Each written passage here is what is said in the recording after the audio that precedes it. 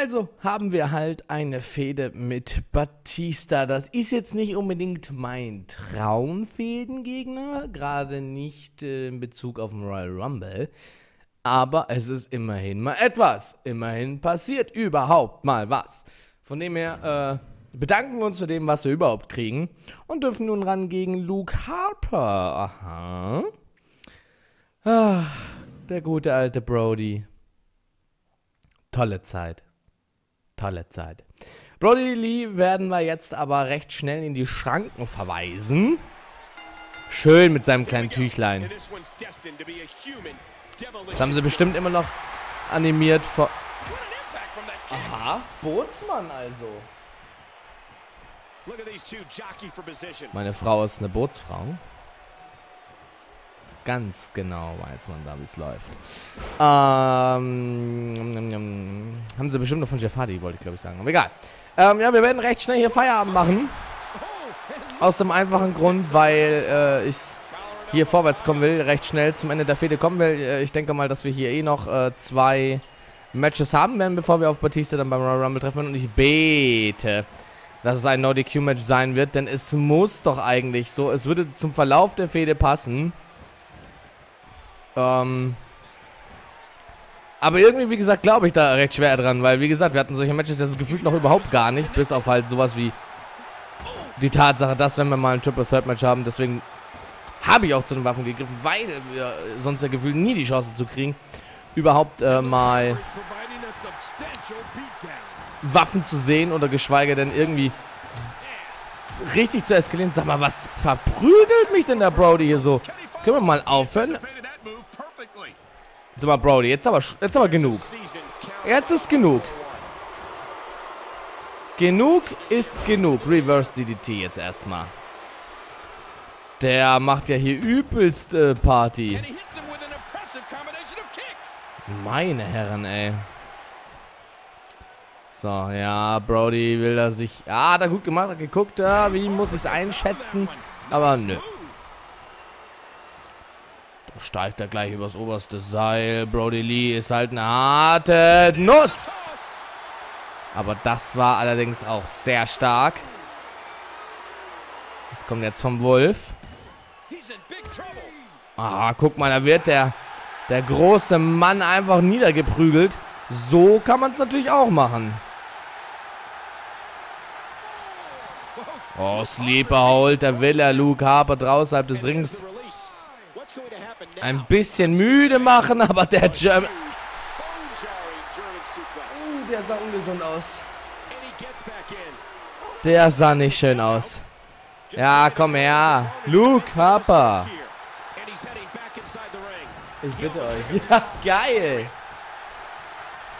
Der ist super. Oh, das ist echt klasse. Passt irgendwie auch ganz gut, oder?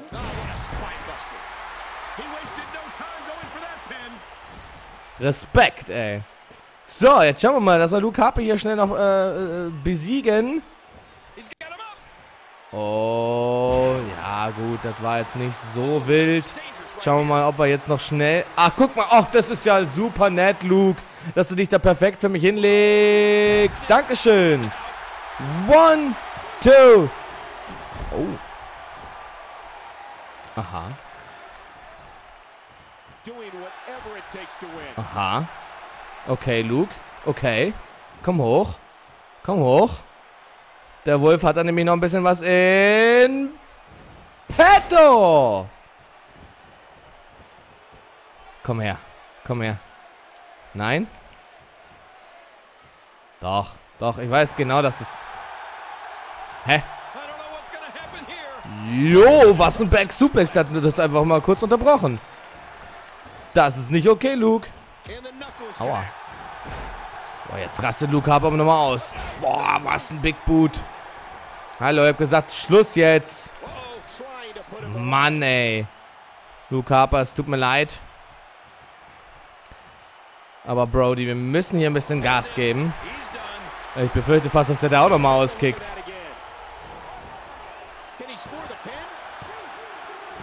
Nein.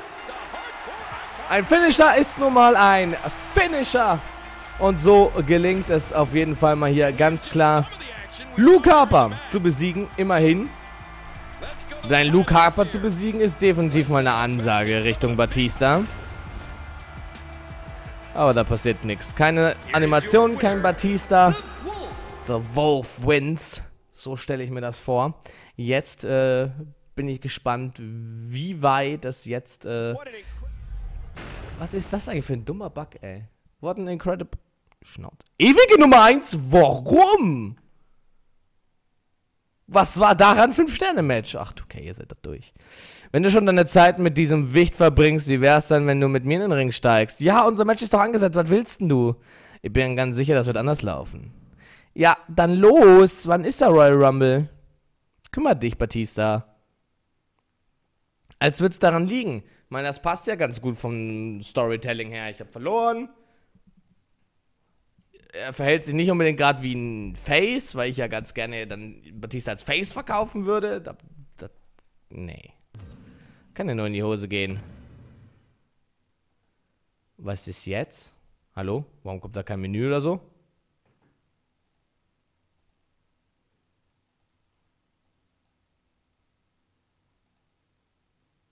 Menü? Hallo? These two have been going at it over social media, and it was bound to blow up sooner or later. Oh man, I would not want to be in his boots. Ach so! Ach so! Luke Harper wollte nochmal ein Rematch und dann kommt Batista, verprügelt Luke Harper und dann Match gebe ich zusammen. 2K, ich bin der Heel! Meine Heel-Leiste ist voll! Warum kämpfe ich gegen einen Heel? Das macht doch alles keinen Sinn, verdammt. Okay, scheiß auf Roy... Was? Hast du gesehen, was ich mit deinem Gegner angestellt habe? Willst du das Match abbrechen? Du hast Glück, dass wir beim pay ein Match mit Regeln haben. Sonst würde dir das auch passieren. Ich will kein Match mit Regeln. Batista. Hast du nicht verstanden? Aufs Maul soll's geben. Rob Flynn, ich entschuldige mich dafür, dass der Match abgebrochen wurde, weil kein Herausforderer gefunden wurde. Ich werde Ringrechter beim Pay-Per-View für den Fall bereithalten, dass Batista versucht, ein Match zu einem Straßenkampf zu machen. Buh. Warum? Ich bin doch böse, ich hab nix gegen einen Straßenkampf. Oh.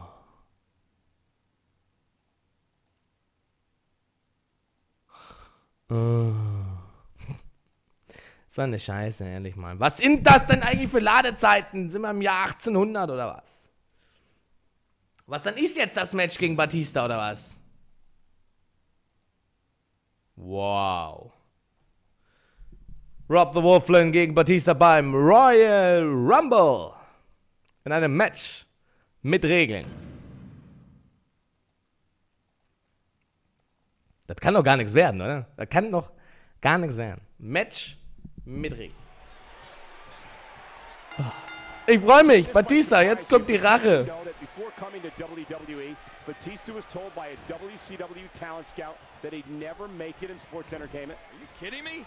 I don't know how you could miss on a guy like Batista, but in retrospect, I guess that actually explains a lot. So, wollen wir mal ganz kurz erzählen lassen von seiner WCW-Geschichte. Ja, jetzt hat Batista, ganz ehrlich, das ist, das Match hat so einen seltsamen Aufbau. Es ist schon wieder, nö, Batista, nö. Das ist für mich schon wieder so meh vom Aufbau her, dass ich noch nicht mal Lust auf das Match habe. Weißt du? Es ist an sich ja sehr geil, Mann. Wir sind beim Royal Rumble. Das ist ja an sich alles neu für uns und ziemlich episch. Sollte es eigentlich sein. Aber jetzt so irgendwie, oh göttlich, der TKO. So, Batista mal gleich ein klares Statement gesetzt. Ja, komm, wir gehen mal wieder zurück in den Ring. Wir wollen ja nicht, dass das so komisch endet. Und dann rennt er in den Big Boot. Ne, ganz ehrlich, Batista, ich werde dich jetzt einfach ganz kurz vernichten. Aber das ist mir ein bisschen zu blöd. Okay. Weil äh, diesmal gibt es auch keine Batista-Bomb, weil, äh, ne? Uh! Oh, die Inverted Hurricanrana. Ja, boot mich aus. So, jetzt habt ihr es langsam verstanden. And the Spinebuster again. Okay, und jetzt jubeln sie wieder. Ihr seid doch durch, ey. Ihr seid da einfach durch und scheiße. Wahnsinn. Okay, Batista. Das wird jetzt ein Squash für das, dass du mich besiegt hast. Das wird jetzt ein Squash für das, dass du mich beim letzten Mal besiegt hast, ey.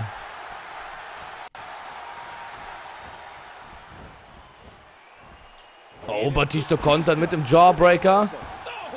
Oh weh, oh weh, damit hat natürlich jetzt keiner gerechnet. Oh, Batista hebt ihn da gleich mal hoch in einen brutalen Suplex. Der war nicht schlecht. Der war wohl nicht schlecht, ey. Oh, Batista wird auch rausgebucht. Mann, ihr könnt euch aber auch überhaupt nicht entscheiden, oder?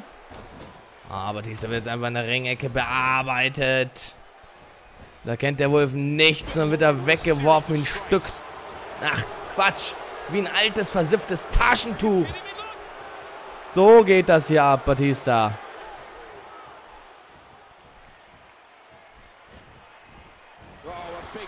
Oh, was? Oh, nicht schlecht. Ah, das geht doch eh... Oh, der Wolf ist schon wieder sauer, ey. So, gehen wir mal lieber schnell raus. Ah, zurück auf den Hallenboden mit dir, Batista.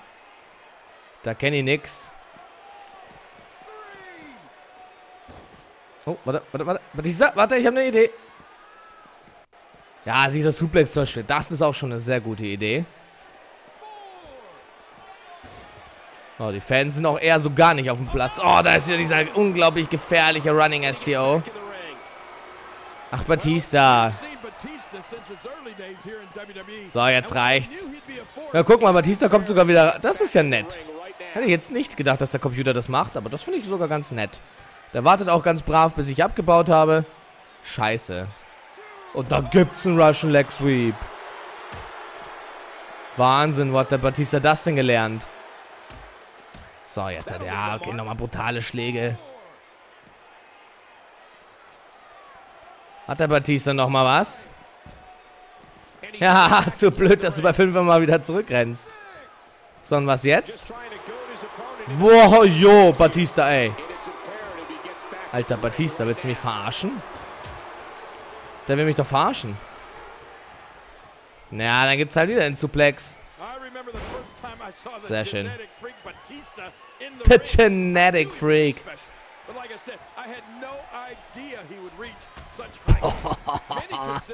Was für ein Schlag gegen Batista.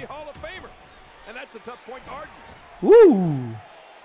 Moment mal. Ich will jetzt mal, will jetzt, äh, okay, wird doch nicht so schnell beendet, wie ich es zuerst vermutet hatte. Boah, du fettes Stück Scheiße, du liegst im Weg. Oida, ehrlich jetzt? Oh, was hat er wohl vor? Was hat er wohl vor? Tiger Suplexe! One, two, three! Ehrlich? Oh, wow. oh, wow. Jetzt nach Tiger Suplex. Wow, Batista. Ja, geil. Und nicht mal eine Animation danach, ey. Die Fede ist so Müll, ey. Da ist ja jetzt überhaupt nichts passiert. Das hat doch null Impact. Ich hoffe, das gibt wenigstens einigermaßen Follower, damit wir relativ fix jetzt mal Richtung Raw marschieren. Damit ich hier alles nochmal einen Grund, äh, neuen Aufbau machen kann, ey. Das ist ja mega schlecht. Ich rede mich nicht heraus, Rob Flynn war einfach besser. Boah, das sagt aber auch jetzt kein Heal. Du hast dir heute Abend eine Menge Schmerzen erspart, aber nächstes Mal hast du nicht so viel Glück. Ich hoffe, es gibt kein nächstes Mal, Batze. Da habe ich keinen Bock drauf. Wenn ich äh, mir mal so angucke, was das jetzt gerade für eine unfassbar schlechte Fehde war, die innerhalb von. So, so, du machst dich also nackig. Ich mach jetzt den Kommandanten. So, so. Und Randy Orton hat verteidigt gegen Big E. Herzlichen Glückwunsch an dieser Stelle. Und ich sag einfach mal, es geht Richtung WrestleMania. Elimination Jammer. Ich werde wahrscheinlich wieder nichts kriegen.